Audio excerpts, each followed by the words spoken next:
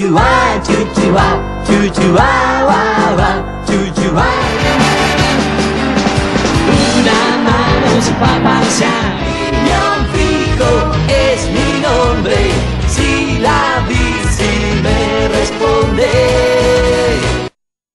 Sí, siempre se habló en el ambiente de que había dos piñón fijos, pero nunca se pudo comprobar. Cuando desapareció Piñón Fijo fue porque estuvieron a punto de descubrir este secreto, decís vos. Claro, si no, no se acuerdan que hubo toda una persecución, Sí, vamos a sí, contar la sí. verdad. ¿Qué era la verdad? La verdad era esta. Nunca van a conocer la cara de Piñón Fijo. Se los puedo asegurar hoy. ¿Por qué no hay un Piñón Fijo? Y sí, sí, por, por culpa de, de un juicio que, que inició una señora de Junín que fue a ver el espectáculo, se pudo afirmar.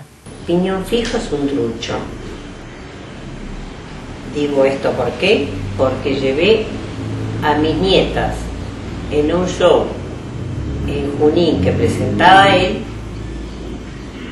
y a su vez a la noche me llama mi prima de Río Negro donde llevó a sus nietos a la misma hora también lo ofrecí a él.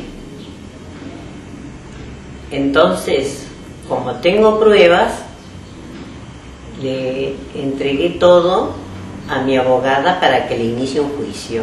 Por el artículo 29 del Código Penal y el artículo 172 del Código Penal, pediré la pena máxima al señor de seis años de prisión más accesorias y costas, porque es autor penalmente responsable del delito de estafas, ya que ha engañado a mi clienta a través de maniobras en la cual se hizo pasar por una persona que no era, utilizando un nombre supuesto.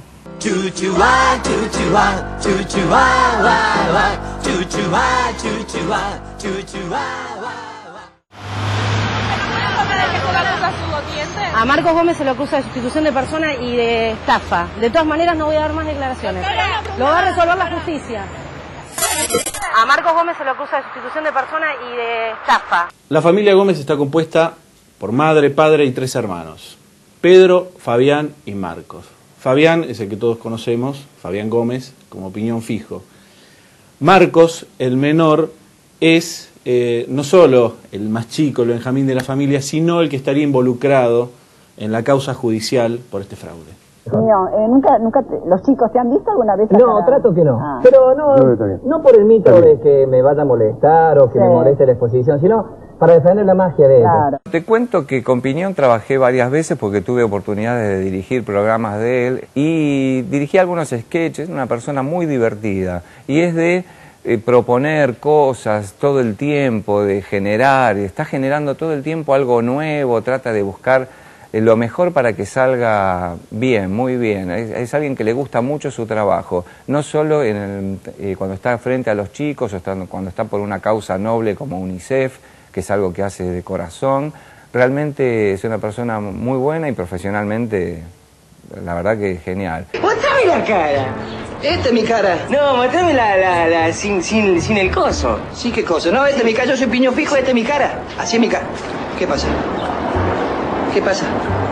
Después, bueno, lo he visto sin maquillaje y realmente te podría decir que sí, cómo es Piñón. Mira, mide un metro setenta más o menos, es de tez mate y mm, sí, después, bueno, la cara es la textura, no te digo eh, cara triangular, sino más bien tirando a redonda, viste que también se ayuda con el maquillaje. Pero bueno, es eso, es al pelo corto. Así es Piñón.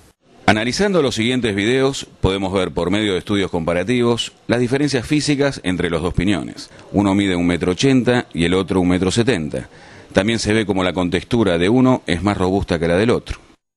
¿Cómo sabemos que sos el verdadero? Sí, es la pregunta más recurrente. ¿Sos el verdadero? Este, hasta en casa me hacen esa pregunta. A principios de 2002, hace ya cuatro años, a Pedro, el hermano mayor, le descubrieron un cáncer y la única solución para que se salvara era un autotrasplante de médula.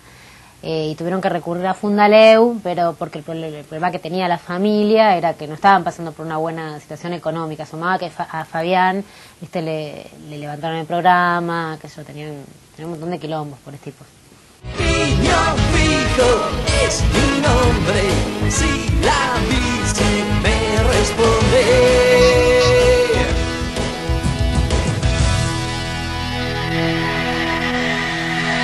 Recuerdo que la familia Gómez hizo lo posible para que Pedro estuviera acá haciendo el tratamiento en Fundareu.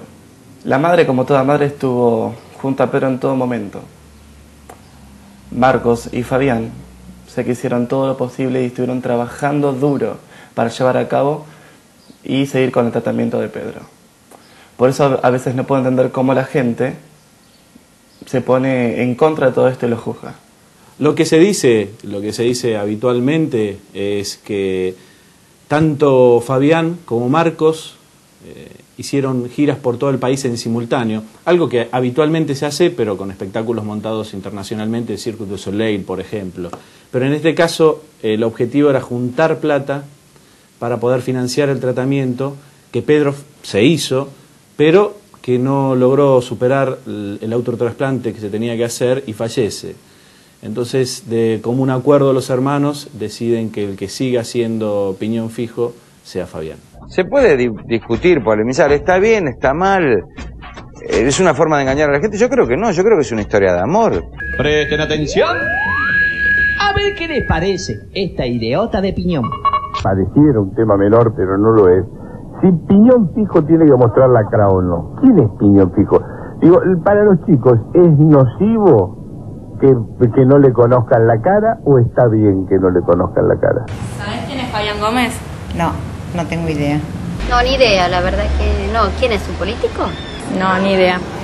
¿Sabes quién es Piñón Fijo? Sí, el payaso de Canal 13. Sí, un payaso este, que hace shows por televisión. Mi hija a veces lo ve. Sí, el payaso que sale en la tele.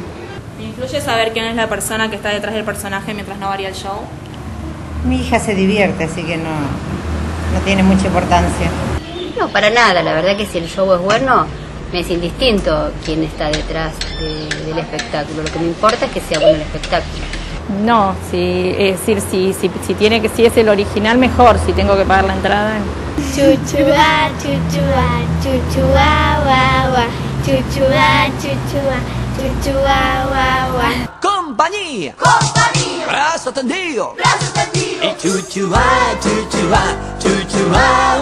guau. Chuchua, chuchua, chuchua, guau, guau. Piñón fijo, piñón fijo, no hay otro.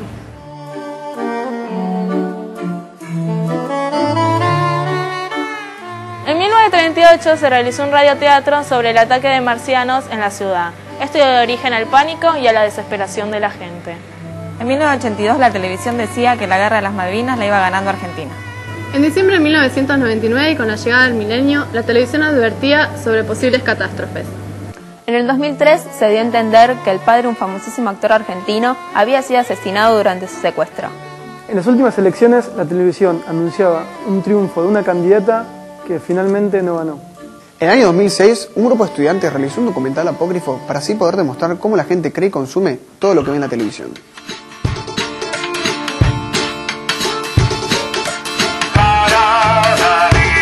Ay,